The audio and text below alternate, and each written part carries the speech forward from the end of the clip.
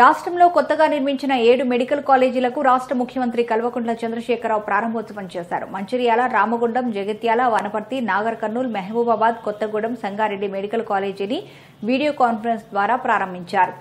ఈ సందర్భంగా సీఎం కేసీఆర్ కార్యక్రమంలో పాల్గొన్న అందరికీ శుభాకాంక్షలు తెలిపారు. అనంతరం మాట్లాడుతూ తెలంగాణ రాష్ట్ర చరిత్రలో ఇదో సువర్ణ అధ్యాయం. ఒకనాడు అనేక సమస్యలతో తాగు సాగునీటికి కరెంటు మెడికల్ సీట్లు ఇంజనీరింగ్ సీట్లకు ఎన్నో రకాల అవస్థలు పడ్డ తెలంగాణ ప్రాంతం స్వరాష్ట్రమై అద్భుతంగా ఆత్మ గౌరవంతో బతుకుతూ దేశానికే మార్గదర్శకమైనటువంటి అనేక వినూత్న కార్యక్రమాలు చేపడుతూ ముందుకెళ్తున్నాం. మనం ఇవాళ ఎనిమిది కళాశాలను ప్రారంభించుకోవడం అందరికీ గర్వకారణమన్నారు. నాకు చాలా సంతోషంగా ఉందని చెప్పి మనం చేస్తా ఉన్నాం. అదేవిధంగా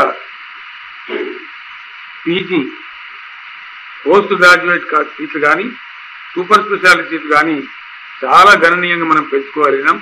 గతానికి ఇప్పటికి పోలిస్తే గతంలో కేవలం రాష్ట్రంలో ఐదు వందల పదిహేను మాత్రమే పీజీ సీట్లు ఉంటే ఈరోజు ఒక వెయ్యి ఒక వంద ఎనభై పీజీ సీట్లు మనకు అందుబాటులోకి వచ్చినాయి.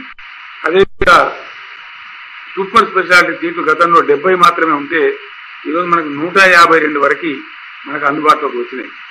ఈ రకంగా మెడికల్ సీట్లు కానీ పీజీ సీట్లు కానీ సూపర్ స్పెషాలిటీ సీట్లు కానీ అద్భుతంగా మనం ఏదైతే సంఖ్య పెంచుకున్నామో విద్యార్థులకు మంచి అవకాశం దొరుకుతుంది.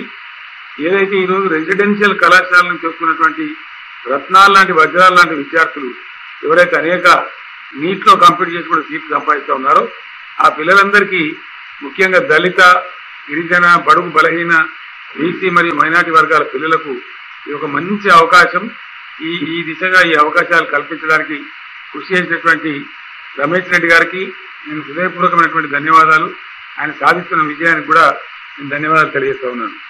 అదేవిధంగా మరో ముఖ్యమైన విషయం ఏమంటే మెడికల్ సిబ్బంది జనాభా నిష్పత్తికి సరితూగే డాక్టర్లు ఉండడం ఎంత అవసరమో దానికి తగు రీతిలో ఖచ్చితంగా పారామెడికల్ సిబ్బంది అంటే నర్సెస్ కావచ్చు రేడియాలజిస్టులు కావచ్చు ప్యాథాలజిస్టులు కావచ్చు ల్యాబ్ టెక్నీషియన్స్ కావచ్చు ఇతరత్ర ఉండేటువంటి వైద్య సహాయక సిబ్బంది. వారు కూడా తగు మోతాదులో ఉండటం అనేది ఈ వైద్య రంగం ఎంత పటిష్టంగా ఉంటుందో దానికి సూచికగా ఉంటుంది. దాన్ని కూడా మనం నిర్లక్ష్యం చేయకూడదని చెప్పి ప్రభుత్వం నిర్ణయం తీసుకుంది. దానికి తగు రీతిలో క్యాబినెట్ కూడా మం- రాష్ట్ర మంత్రివర్గం కూడా ఆమోదం తెలపడం జరిగింది.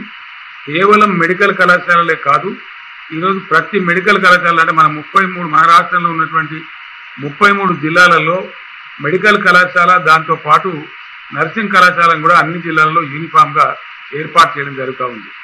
అదేవిధంగా మిగతా పారామెడికల్ కోర్సెస్ అన్ని చోట్ల పెట్టకపోయినా వరంగల్ లాంటి ప్రముఖ ప్లేసుల నుంచి ఇతర పట్ట ఇతర ప్రాంతాలలో కనీసం ఒక్కొక్క చోట ఒక్కొక్కటి వచ్చే విధంగా ఒక చోట రేడియాలజీ ఉంటే ఇంకో చోట ప్యాథాలజీ వచ్చేటట్టు మరో చోట ఇంకో కోర్సు వచ్చేటట్టుగా అన్ని రకాల పారామెడికల్ ఎడ్యుకేషన్ కూడా మళ్ళీ ప్రతి జిల్లా కూడా వచ్చే అవకాశం ఇంచుమించుగా ఉంటుంది.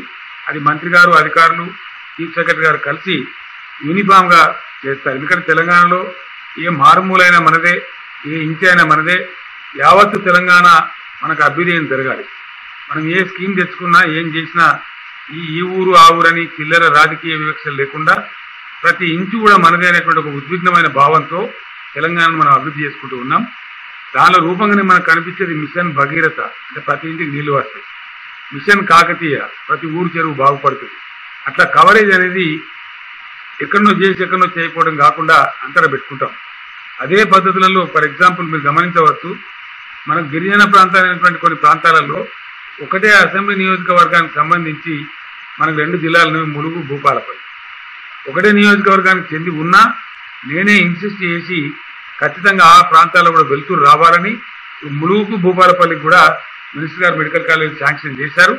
ఆ విధంగా అంత బాగా మనం కాన్సన్ట్రేట్ చేస్తూ ఉన్నాం. ఒకటే నియోజకవర్గం కూడా ఎందుకు అవసరం లేదు అనేటువంటి భావం తీసుకోకుండా ప్రతి జిల్లాకు వస్తే మారుమూల ప్రాంతాల్లో ఉన్న వాళ్ళకు కూడా చక్కటి అవకాశాలు వస్తాయి బాగా ఉంటుంది. ఒక మెడికల్ కాలేజ్ ఆ ప్రాంతంలో ఉందంటే మనం కొన్ని విపత్కరమైన పరిస్థితులు చూసాం పాండమిక్ కరోనా వచ్చినప్పుడు ఏ రకమైనటువంటి భయోత్పాతమైన పరిస్థితులు వచ్చినాయో ప్రపంచమంతా ఏ విధంగా గదగద వణికిపోయిందో మనం అందరం కూడా చూశాం. ఆ సందర్భంలో ప్రపంచాన్ని శాసించేటువంటి స్థాయిలో ఉన్న అమెరికా లాంటి దేశంలో కూడా లక్షలాది మంది వైద్య సదుపాయాలు కొరబడి మృత్యువాత పడటం మనం కళ్ళారా చూశాం. యూరోప్ లాంటి దేశాలలో కూడా చాలా పెద్ద ఎత్తున జరిగింది. మనం కూడా చాలా నష్టపోయాం. ఆ సందర్భంలో మనం గ్రహించినటువంటి విజ్ఞానం ద్వారా ప్రముఖ ఎంటమాలజిస్ట్ మనం సూచించిన దాని ద్వారా రాబోయే రోజులలో అనేక రకాల వైరస్లు మానవ జాతిని పట్టిపీడిస్తాయనేటువంటి మాట మనకు రావడం జరిగింది. దాన్ని తీవ్రంగా పరిగణించినటువంటి మన రాష్ట్ర ప్రభుత్వం మన రాష్ట్ర మంత్రివర్గం ఖచ్చితంగా నేను ఒక మాట వారిని అడగడం జరిగింది. ఒక ఎంటమాలజిస్ట్ ఒక అమ్మాయి లేడీ అమ్మాయి అక్కడ నుంచి చూస్తే ఏం జరగబోతుందంటే వాళ్ళు చెప్పిన మాట ఒకటే.